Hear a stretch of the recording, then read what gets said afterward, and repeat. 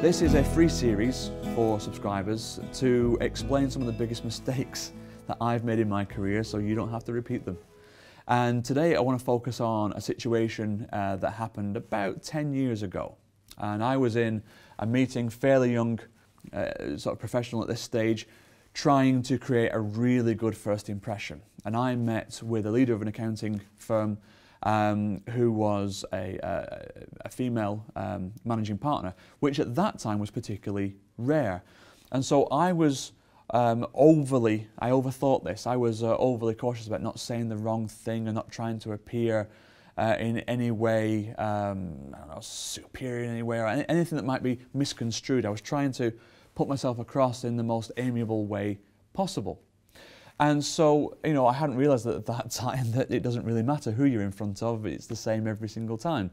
But at that time, I was very, very cautious and tried to overthink my process. Here's what happened. We went into a fairly small office where we were sat across the desk from each other. And for reasons I can't explain, I was in a very comfortable chair, I could have leaned back. I was trying to show a tremendous amount of interest in what they were saying to hopefully create some sort of rapport and bond and empathy between the two of us. But what I didn't realize is the more and more they spoke, the closer and closer and closer to her, and really invading personal space to her almost nose to nose. And like anybody would do, and she completely recoiled and, and came back. And what was worse is I was unstoppable that day. I, I hadn't realized what I was doing, and so I just stayed there the entire time, unnaturally perched over the table. And it made for a, a very awkward meeting, and the conversation started to become quite stilted. I'm thinking, what's going on here? I thought I was doing really well. Why is this going wrong? And of course, I'm coming across as objectional. Hopefully, not now, but I was then.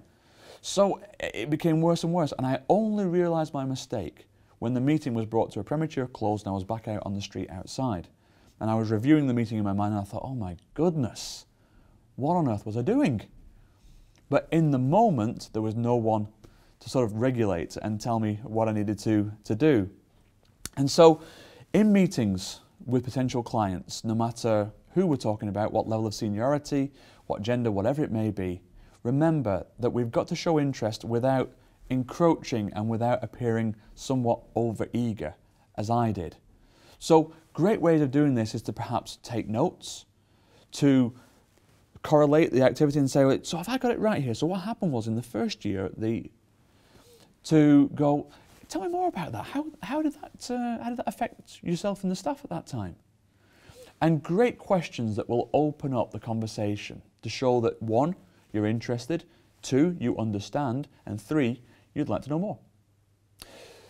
These are very, very simple, basic things to the point where we think, do you really need a video on this subject? Well, from my experience in working with technical professionals who aren't that familiar with winning new fees, yeah, you do.